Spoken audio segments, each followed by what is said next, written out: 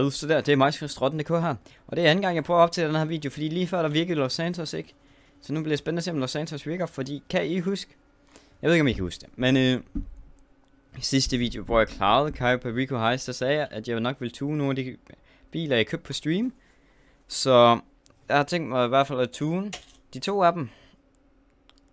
Så det er sådan, Øh, jeg har lidt brug for, at Los Santos Customs virker, og jeg har lige flyttet den ene herover, fordi at jeg skulle se, om det virkede i min garage, men det gjorde det ikke.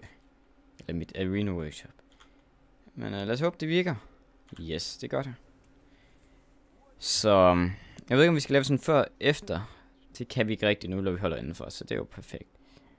Så går vi ellers bare i gang med tunen den.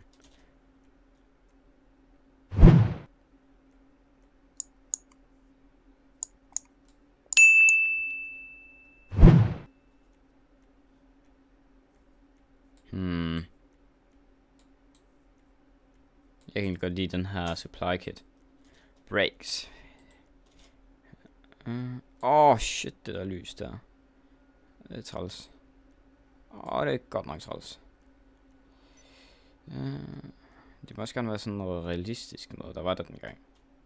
Jeg tænker, vi skal prøve at tune den sådan realistisk. Hvis det var noget, så var det måske sådan noget her. Eller den der. Den tager vi. Bombers. Front bomber.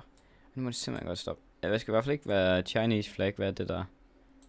Pole bomber. Nå, det er... Nå, det har ikke noget med Chinese flag at gøre.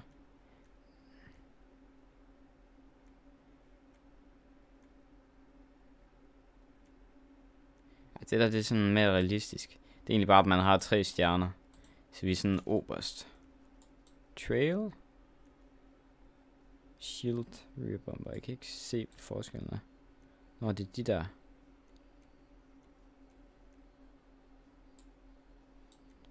Jeg faktisk, den der med realistisk. Engine. Bare på med lortet. Exhaust. Not der. Street. Ej, for helvede, mand. Det ser sgu lækkert ud. Fenders. Vi kan have lygter på. Vi kan have ammo, eller vi kan have supply. Ej, jeg kan godt lide, der kommer en bremslukker på. Det er meget realistisk. Grill. Vi skal der her, og så kan jeg stå Winky. Rhino Grill. Jeg kan egentlig bedre lide den her med den der, hvad er det, en oliepumpe eller sådan noget. Øh, ja.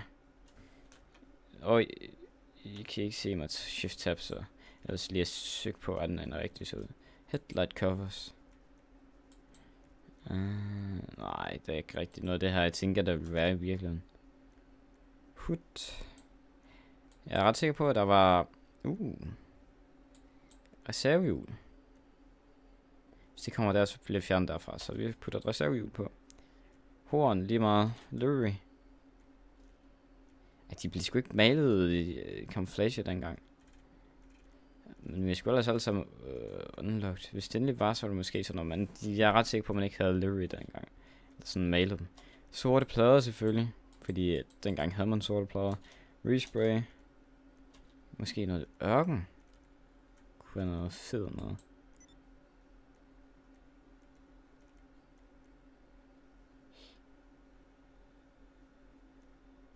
Nå, jeg har ikke vundet nogen air race. Okay, men den er ellers ret fed i ørken, synes jeg. Ja, så vi skal... På et eller andet tidspunkt, så får jeg den til at være ørken. Roof. Roof searchlight. Nej, det havde man sgu ikke dengang. Soul suspension.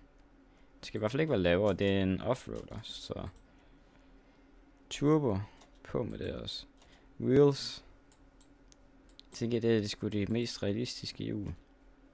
Men uh, vi kan lige... Oh, uh, Enhancement Bullproof. Og så siger vi sådan, det er... Og det er det så simpelthen vores efter her. Jeg synes faktisk, det er blevet meget fedt. Hvis man lige kunne få en ørkenfarve, så havde den været lige top notch, men... Uh, det var simpelthen den ene bil, jeg skulle tune. Så har jeg nummer to bil, og... Um, og de, det kan godt være, at jeg allerede har gættet, hvad det er, men... Uh, vi prøver at hoppe udenfor.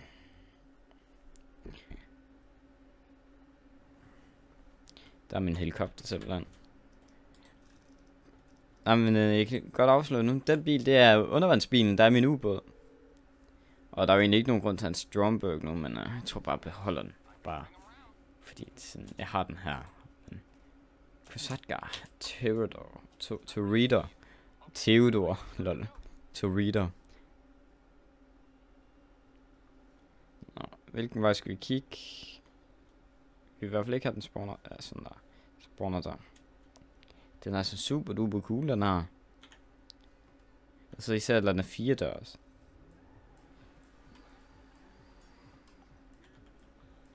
Ligner sådan en bil fra 1960'erne. Jeg tror, det er en Lamborghini fra 1960'erne, den er baseret på.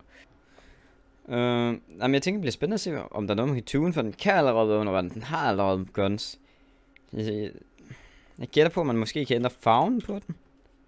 Måske give den nogle upgrades, så den er bedre på land, men øh, that's it, tror jeg. Men, åh, oh, jeg skulle trykke E. Ja, jeg kom til at trykke W. Okay, let's go.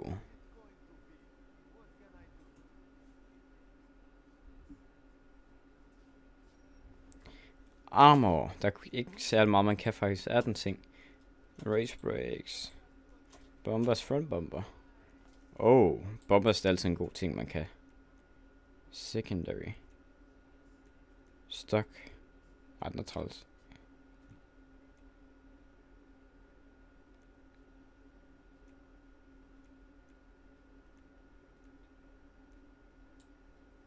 Den ser okay cool ud. Den der. Secondary dash bomber. Engine upgrade. Horn.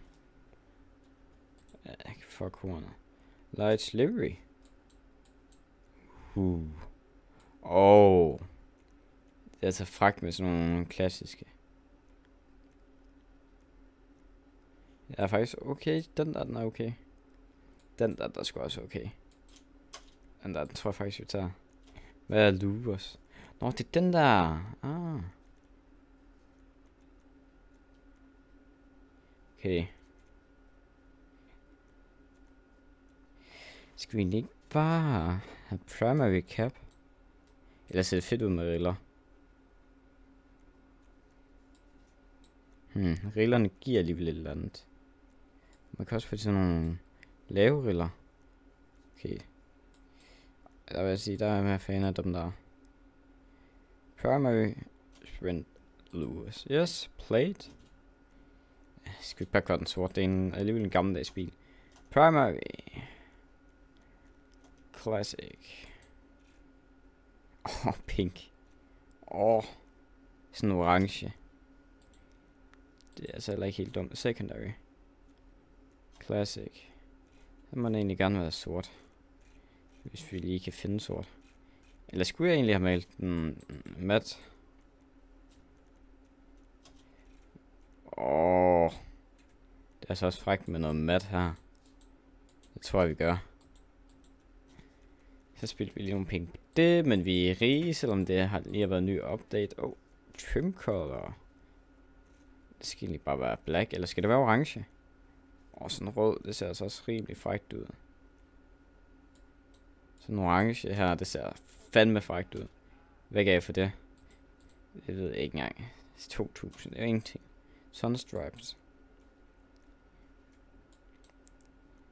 Der må faktisk godt være sådan en på. Spoiler. Der må godt være en sort spoiler på. Men øh, vi skal lige se. Sådan en sort spoiler. Den der, den er faktisk... Nej, den er egentlig ikke så nem at se. Mm. Tænker egentlig den første. Den er grim. Det der, det er også... Se, sådan en spoiler, det var sådan en, der kunne være på dengang. Så vi gør den egentlig bare orange. Oh. Hvor kom vi fra? Vi kom fra spoiler, transmission, Fuld op, turbo, fuld op. wheels, high-end sport, offroad, muscle, lowrider. Åh, oh, de der, de er lækre. De er lækre. Kan man så bare give gør orange. Jeg tager bulletproof. Tager design. Ej, det er grimt til den her. Ah, til fuck tager smoke. Windows. Sådan der. okay. Jeg synes faktisk, den er okay.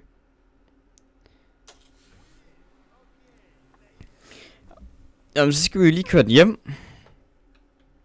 Sådan her. Vent hvad fuck? Har den boost? Hvad sker der for det? Hvad skal man så? What? Jeg, jeg lagde lige mærke til din arenaen. Der var sådan en gul ting. What? Jeg skal ud til Mubo med den her. No fucking... Okay.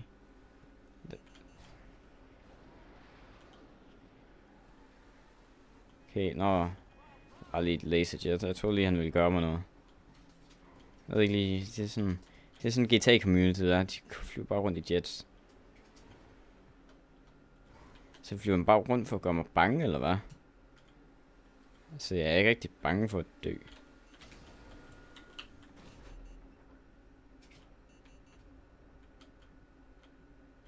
Åh, oh, han fløj galt. Hm. Ej, den er så fucking cool, den her bil. Jeg tænker, vi ses ude på ubåden. Og så ser vi, hvordan den ser ud derude.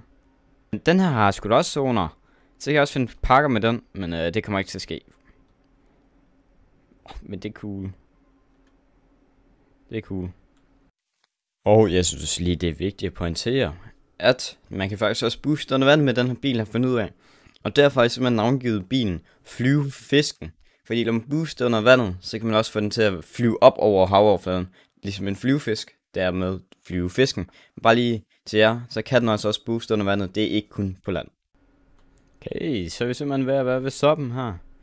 Så faktisk, faktisk første gang jeg prøver at komme ind i den nedefra med den her. Så jeg tænker bare, at vi trykker E for ind til Kosak... Kos... Kosatka. Er det ikke den hedder? Tror jeg. Sådan. Det ser sådan lidt lækker. Det kunne faktisk være rigtig fedt, hvis man lige kunne ændre farven på den her. Men øh, desværre, man kan kun exit med den, så... Det er man kan det i fremtidige updates, det kan man da håbe på. Men, mm, den ser fed ud. Men med de ord, så tror jeg, at vi, jeg vil sige rigtig mange tak, fordi I så med på den her video. Og de næste videoer kommer måske til at omhandle kan sige, er, øh, uh, Caio Perico heist. Det er ikke sikkert, det kan også være et CS. Hvem ved? Men følg med. Hej hej.